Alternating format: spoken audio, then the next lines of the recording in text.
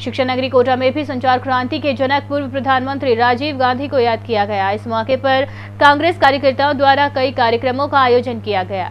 राजीव गांधी नगर स्थित पूर्व प्रधानमंत्री स्वर्गीय राजीव गांधी की प्रतिमा पर शहर जिला कांग्रेस कमेटी की ओर से पुष्प चढ़ाकर उन्हें याद किया गया।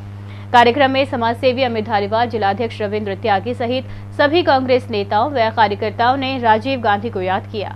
इस मौके पर एक संगोष्ठी का आयोजन भी किया गया। गोष्ठी में नेताओं ने पूर्व प्रधानमंत्री स्वर्गीय राजीव गांधी की दूरदर्शी सोच के बारे में जीवन पर प्रकाश डाला। राजीव गांधी के कारण ही देश का पंचायती राज तंत्र भी मज़बूत हो पाया है।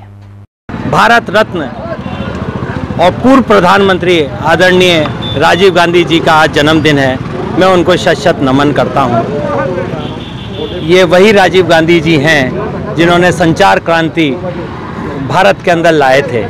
और आज 18 वर्ष की उम्र के अंदर जो युवा मतदान देता है, वो भी, वो कानून भी यही लेकर आए थे। और से उन्होंने उन विषम परिस्थितियों में भी देश की बागडोर संभालने के बाद, जो देश में एकजुट करने में और इसको देश को आगे बढ़ाने में आज हम संचार क्रांति की बात की जो आप देख रहे हैं स्टेचू, जो राजीव गांधी जी की लगाई है, उनके उनके हाथ में कंप्यूटर है। जो आधुनिक संचार क्रांति के अगर जनक रहे हैं तो सिर्फ़ और सिर्फ़ राजीव गांधी रहे आज हम पूरे देश में, चाहे कंप्यूटर देख लें, चाहे मोबाइल देख लें, या घर घर जो आप हर आज ठेले वाले के पास, हर गरीब व्यक्ति के पास मोबाइल मिलेगा घर घर कंप्यूटर मिलेगा, ये देन सिर्फ़ और सिर्फ़ राजीव गांधी।